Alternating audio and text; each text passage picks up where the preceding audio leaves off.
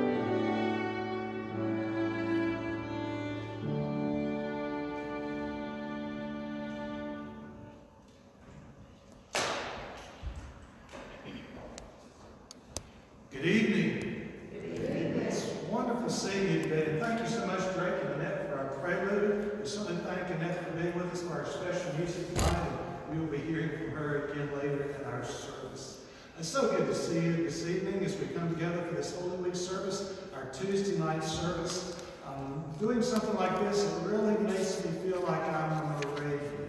Especially tonight, I'm feeling like I am. For one thing, Kathy fixed Moravian chicken pie for supper, which was wonderful. So I'm in a good spirit, a good mood now. But to me, this is something that I've been doing for years and years since I was growing up, coming to Holy Week services. Last year was different. I think Destiny and Rachel and I and, and Doug Gordon and Jennifer, we were here taping these, which we were able to show in that way. But I'm so thankful for what we're able to do right now, being able to do our services here in our sanctuary. God has blessed us with a beautiful day and a beautiful evening. Uh, in most cases, I'd probably say, hey, this looks so good outside. Why don't we just go out there? But no, we've been, we've been out of this sanctuary for so long. I think it's good just to stay right here tonight beautiful sanctuary. But thank you so much for coming, and thank you for the reason that we are here. We are here to worship God. We are here to hear the words again of what our Lord Jesus Christ went through this last week that led to his cross and that we also led to his resurrection. We begin our service this evening as we join together in our opening hymn, In the Cross of Christ, Thy Glory. Let us stand as we sing.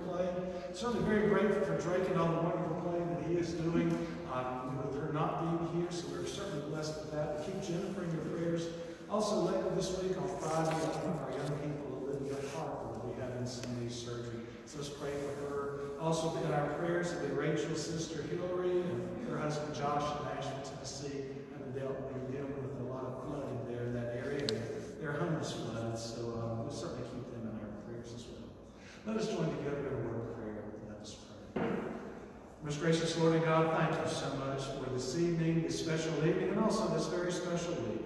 Thank you, Lord, for all who are gathered here in this sanctuary. Thank you, Lord, for those who may be watching this right now from their homes or who will be watching it later from the recording.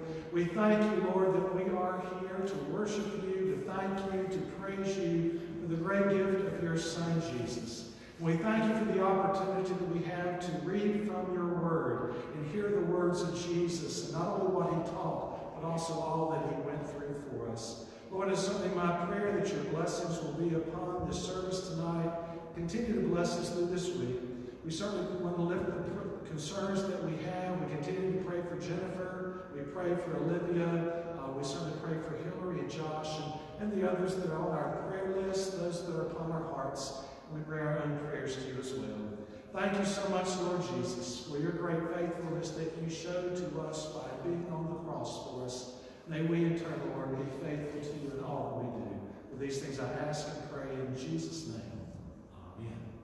And you may be seated.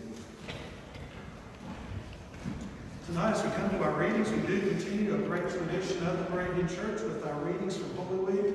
You know, it is kind of difficult. I know some of you have done this. You kind of noticed in the readings some days there's not much, and one day on Wednesday there is nothing at all. Where on Tuesday and Thursday there's a, a bulk of the reading. Uh, so we have kind of gone ahead, and we will even get to part of Thursday tonight.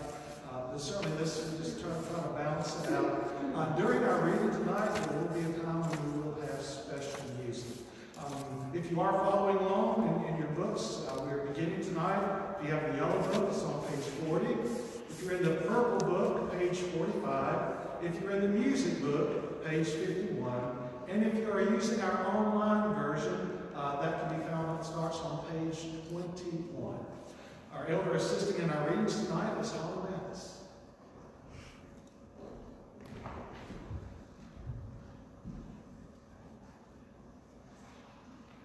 The need for watchfulness. But about that day and hour no one knows, neither the angels of heaven nor the Son, but only the Father. For as the days of Noah, for as the days of Noah were, so will be the coming of the Son of Man. For as in those days before the flood, they were eating and drinking, marrying and giving in marriage, until the day Noah entered the ark, and they knew nothing until the flood came and swept them all away. So too will be the coming of the Son of Man. Then two will be in the field, one will be taken and one will be left. Two women will be grinding meal together, one will be taken and one will be left. Keep awake, therefore, for you do not know on what day the Lord is coming.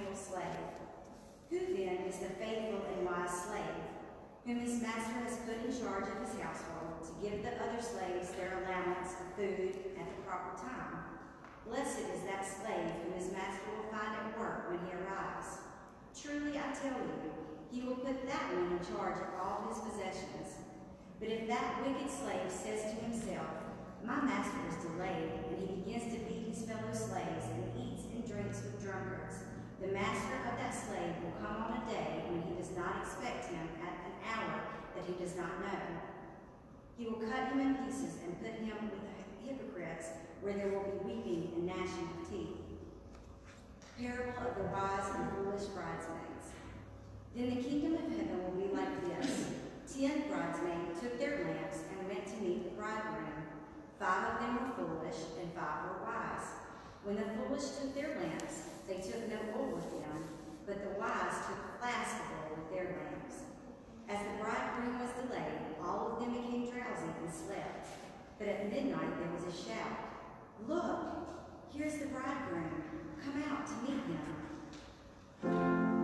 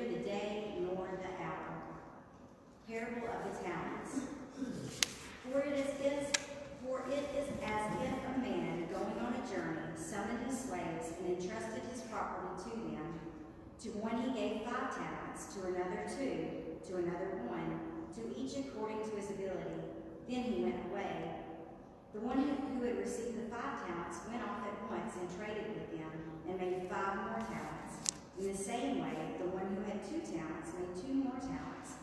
But the one who received the one talent went off and dug a hole in the ground and hid his master's money. After a long time, the master of those slaves came and settled accounts with them. Then the one who had received the five talents came forward, bringing five more talents, saying, Master, you handed over to me five talents. See, I have made five more talents. His master said to him, Well done, good and trustworthy slave. You have been trustworthy in a few things.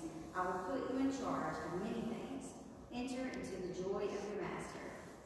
And the one with two talents also came forward, saying, Master, you handed over to me two talents. See, I have made two more talents. His master said to him, Well done, good and trustworthy slave. You have been trustworthy in a few. I will put you in charge of many things. Enter into the joy of your master. Then the one who had received the one talent also came forward, saying, Master, I knew that you were a harsh man, reaping where you did not sow, and gathering where you did not scatter seed. So I was afraid, and I went and hid your talent in the ground. Here you have what is yours. But his master replied, You wicked and lazy slave. You knew, you knew, did you, that I reap where I did not sow and gather where I did not scatter? Then you ought to have invested my money with the bankers, and on my return I would have received what was my own with interest. So take the talent from him and give it to the one with the ten talents. For to all those who have, more will be given, and they will have an abundance. But from those who have nothing, even what they have will be taken away. As for those as for this worthless slave, throw him to the outer darkness where there will be weeping and gnashing of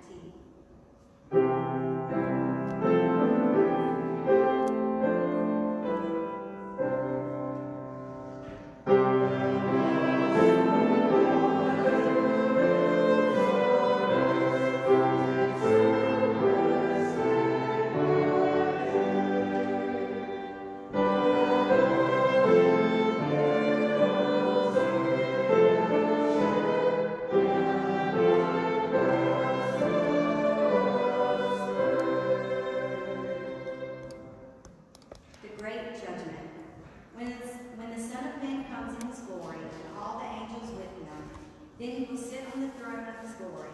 All the nations will be gathered before him, and he will separate people one from another as a shepherd separates the sheep from the goats. And he will put the sheep at his right hand and the goats at his left. When the, then the king will say to those at his right hand, Come, you are blessed by the Father, inherit the kingdom prepared for you from the foundation of the world. For I was hungry, and you gave me food. I was thirsty, and you gave me something to drink. I was a stranger, and you welcomed me. I was naked, and you gave me clothing. I was sick, and you took care of me. I was prison, and you visited me. Then the righteous will answer him, Lord, when was it that I saw you hungry and gave you food, or thirsty and gave you something to drink? And when was it that we saw you a stranger and welcomed you, and or naked and gave you clothing? And when was it that we saw you sick or in prison and visited you? And the king will answer him, Truly I tell you, just as you did it to the one of the least of these, who are members of my family, you did it to me. Then he will say to those at his left hand, You are their curse, depart from me into the eternal fire, prepared for the devil and his angels. For I was hungry, and you gave me no food. I was thirsty, and you gave me nothing to drink. I was a stranger, and you did not welcome me. Naked, and you did not give me clothing. Sick and in prison, and you did not visit me. Then they also will answer, Lord, when was it that I saw you hungry or thirsty, or a stranger, or naked, or sick, or in prison, and did not take care of you? Then he will answer to them, Truly I tell you, just as you did not do it to the one at the least of these, you did not do it to me. And this will go away into eternal punishment, but the righteous to eternal life.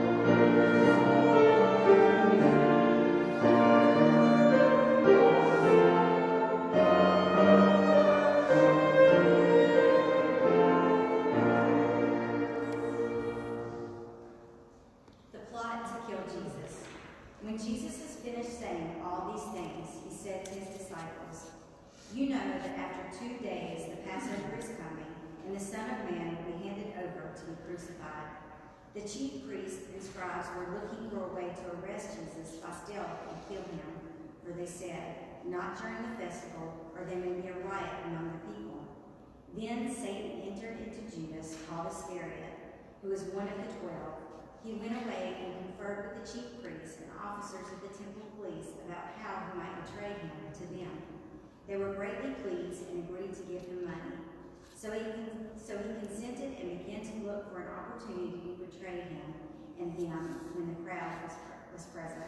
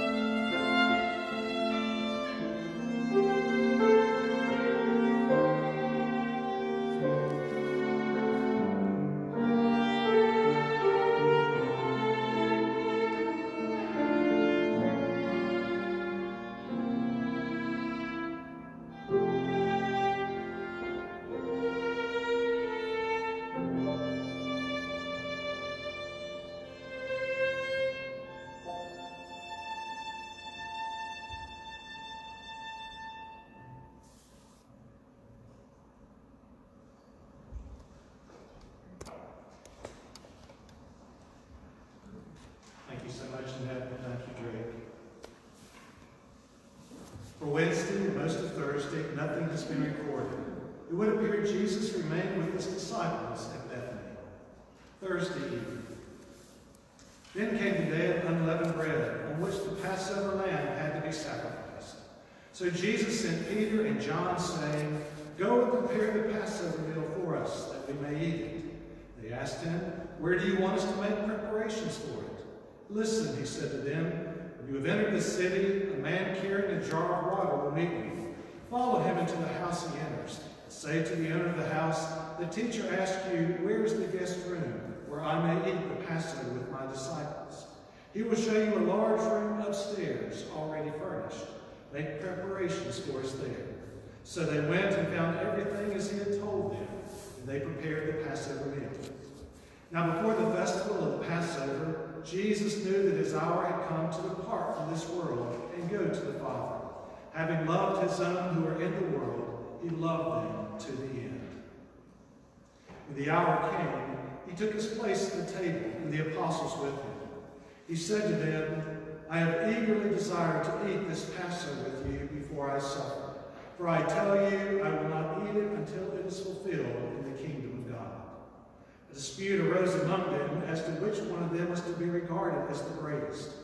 And he said to them, The kings of the Gentiles lord it over them, and those in authority over them are called benefactors. Not, but not so with you. Rather, the greatest among you must become like the youngest, and the leader like one who serves. For who is greater, the one who is at the table or the one who serves? Is it not the one at the table? But I am among you as one who serves. During supper, Jesus, knowing that the Father had given all things into his hands, that he had come from the Father and was going to the Father, got up from the table, took off his outer robe, and tied a towel around himself. Then he poured water into a basin and began to wash the disciples' feet, to wipe them with the towel that was tied around him. He came to Simon Peter, who said to him, Lord, are you going to wash my feet? Jesus answered, You do not know now what I am doing, but later you will understand. Peter said to him, You will never wash my feet. Jesus answered, Unless I wash you, you have no share with me.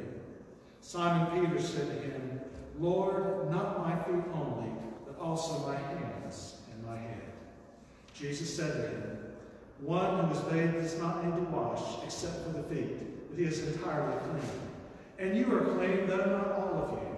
For he knew who was to betray him. For this reason he said, Not all of you are. After he had washed their feet and put on his robe and returned to the table, he said to them, Do you know what I have done to you? You call me teacher and Lord, and you are right, for that is what I am.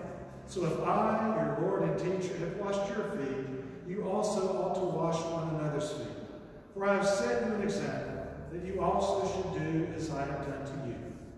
Very truly I tell you, servants are not greater than their master, nor are messengers greater than the one who sent them. If you know these things, you are blessed if you do them. I am not speaking of all of you. I know whom I've, cho chosen, but it is to fulfill the scripture.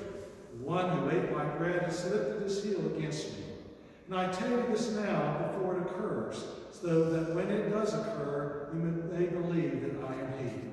Very truly I tell you, whoever receives one whom I send receives me, and whoever receives me receives him who sent me.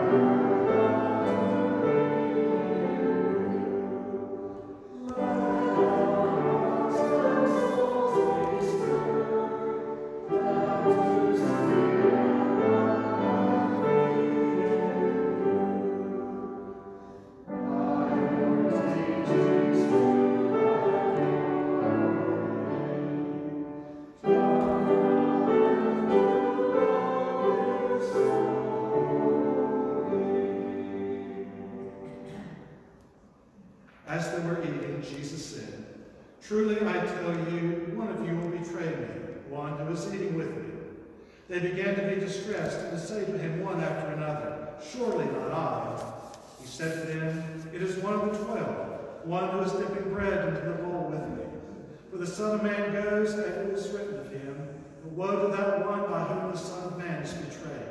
It would have been better for that one not to have been born. The disciples looked at one another, uncertain of whom he was speaking. One of his disciples, the one whom Jesus loved, was reclining next to him. Simon Peter therefore motioned to him to ask Jesus of whom he was speaking. So while reclining next to Jesus, he asked him, Lord, who is it? Jesus answered, It is the one to whom I give this piece of bread when I have dipped it in the dish. So when he had dipped the piece of bread, he gave it to Judas, son of Simon Iscariot. After he received the piece of bread, Satan entered into him. Jesus said to him, Do quickly what you are going to do.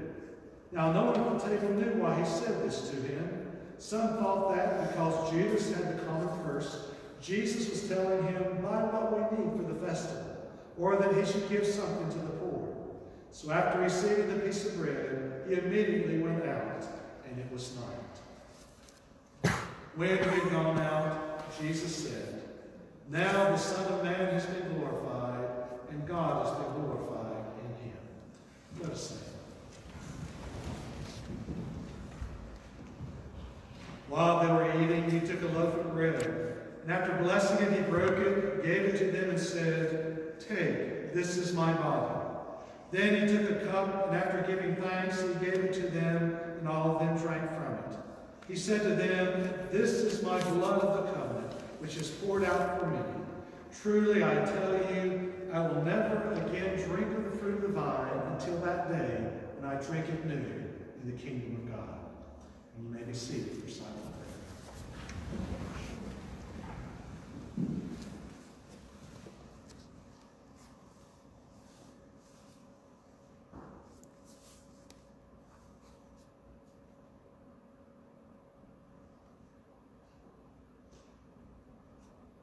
by all the merits of your life, by your humility, meekness, and patience, by your griefs and sorrows, by your prayers and tears, by your having been despised and rejected, by your atoning death, by your divine presence, by the holy sacraments.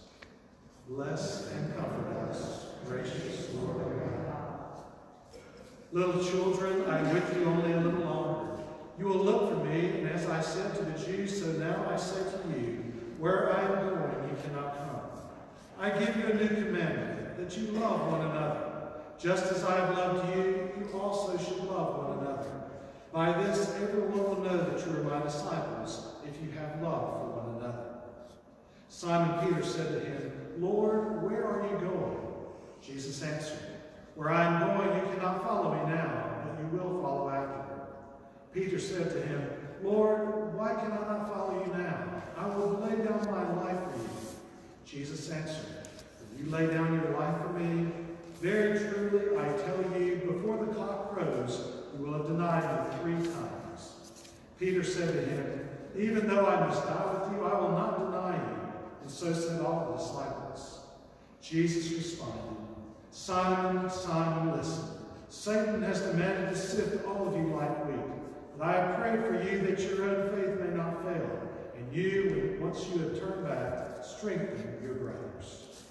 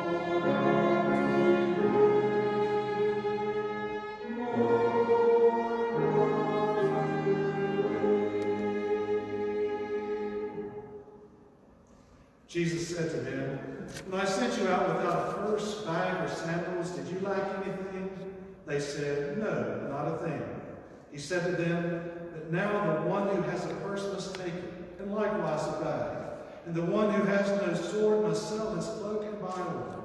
For I tell you, the scripture must be fulfilled in me. And he was accounted among the lawless.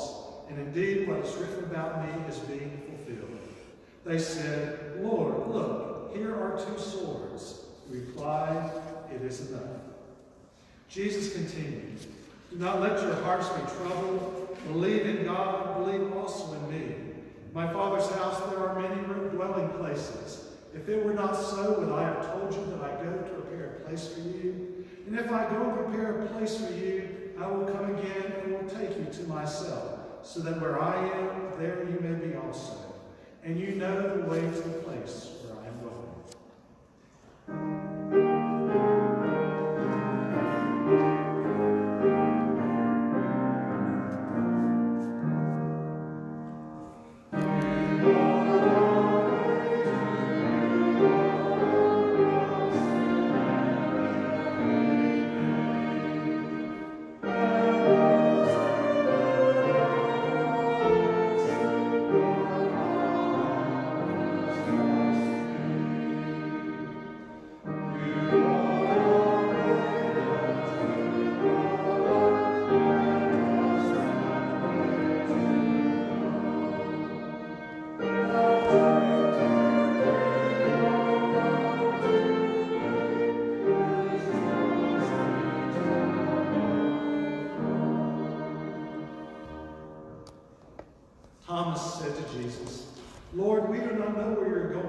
How can we know the way?